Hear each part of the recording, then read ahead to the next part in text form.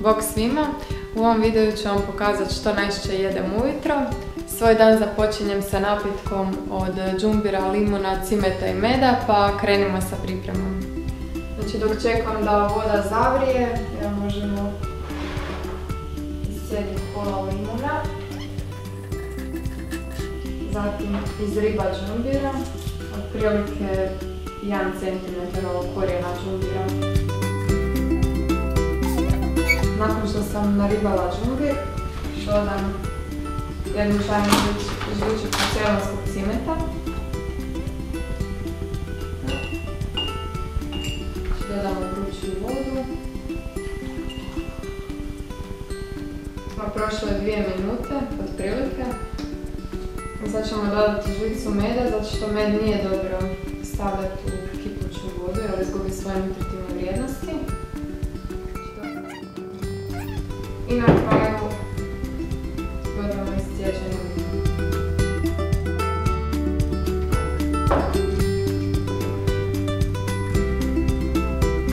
Živjeli!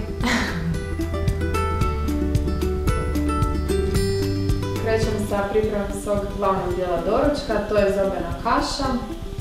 Pa znači prvo u vruću vodu stavim bar tri žlice zobenih pahuljica. Ovo su čija sjemenke, njih e, volim dodati u zobenu kašu, zato što su bogate omega-3 masnim kiselinama. Njih je dobro staviti u vodu prije nego što se pomiješaju sa kašom.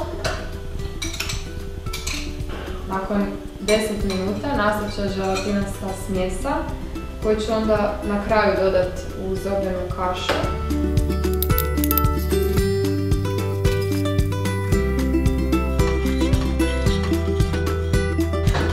Kaša je skoro gotova.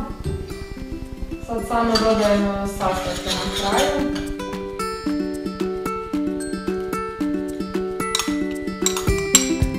I na kraju dodam jednu bananu.